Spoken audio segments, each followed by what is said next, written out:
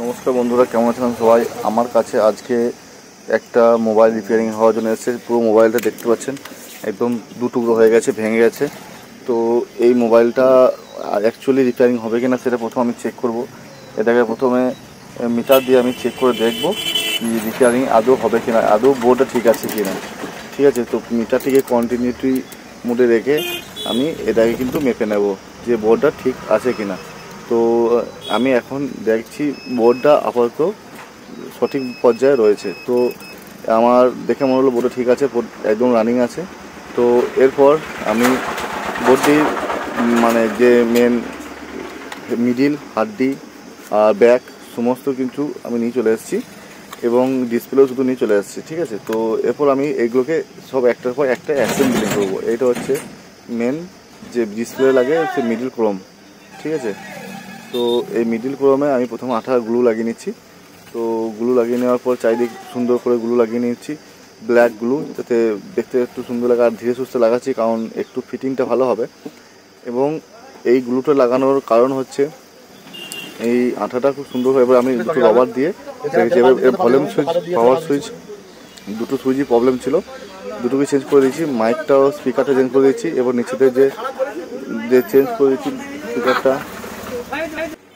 এরপর নিচ্ছে যে আমরা স্পিকারে যে কানেকশন আছে সেই কানেকশনটিকে গ্লুর মাধ্যমে লাগিয়ে নিচ্ছি এবং লাগিয়ে নেওয়া সুন্দরভাবে লাগিয়ে নেওয়ার পর সেখানে আমরা কিন্তু ভাইবেটার যে মোটরটা আছে সেটা লাগিয়ে অনেক মিস্ত্রি কি টেকনিশিয়ান কী করে ভাইবেটার মোটরটিকে কিন্তু লাগায় নিয়ে, লাগায় না, ঠিক আছে? পরে তো আমি কিন্তু লাগিয়ে নিয়েছি। তো এরপর ওইখানে যে সিসি কানেক্টারটা যেখানে চার্জ হয়, সেই সিসি কানেক্টারটা আমি লাগিয়ে নিচ্ছি এবং সেখানে অ্যান্টেনা যে তার সেই কানেকশনের তারটা সেটা অবশ্যই জুড়ে নিতে হবে, কারণ ওটি না জুড়লে কিন্তু নেটওয়ার্কটি আসবে না।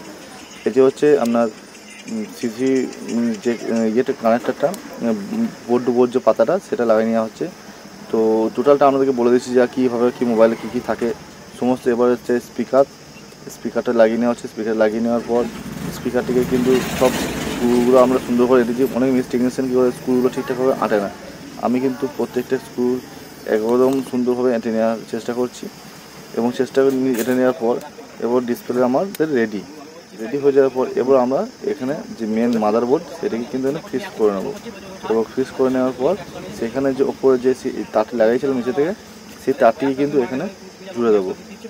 জুড়ে দেওয়ার পর এখান থেকে মানে মাদারবোর্ড থেকে নেটওয়ার্কের তারটি কিন্তু জোড়া হয়ে গেল কারণ ওর থেকে নেটওয়ার্কটা আসবে।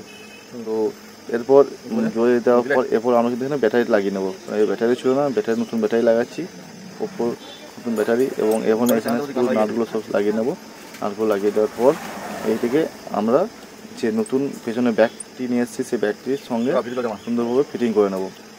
এবং ফিটিং করে নেওয়ার পর যতক্ষণ হচ্ছে ততক্ষণ আমরা যদি আমাদের পেজে নতুন হয়ে থাকেন কি ইউটিউব ফেসবুক থেকে এলে আমাদের চ্যানেলটিকে ফলো করবেন আর ইউটিউব থেকে এলে অবশ্যই সাবস্ক্রাইব করবেন। তো আমাদের দেখুন এটা কমপ্লিট হয়ে গেছে।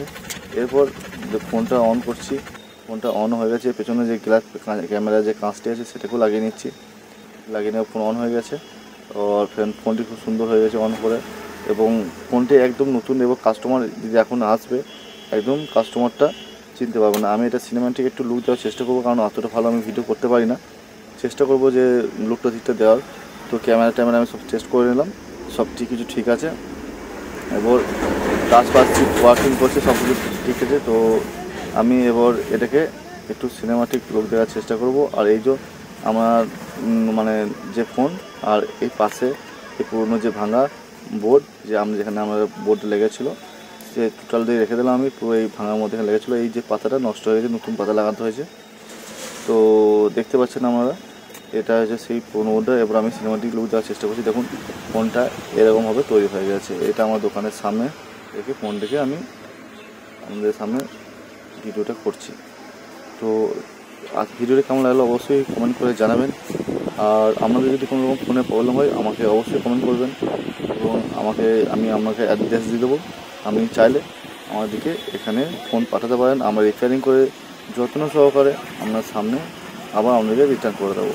ঠিক আছে, আমাদের আমরা খুব স্বল্প মূল্যে রিপেয়ারিং করে দিই এবং সেটাও আবার খুব মানে একদম সার্ভিসিং সেন্টারের মতন, কারণ আমি সার্ভিসিং সেন্টারে গত দু বছর কাজ করেছি। দেখতে পাচ্ছেন এটা এই ফোনটা সবাই ভালো থাকবেন সুস্থ থাকবেন জয় হিন্দ বন্দে মাতারাম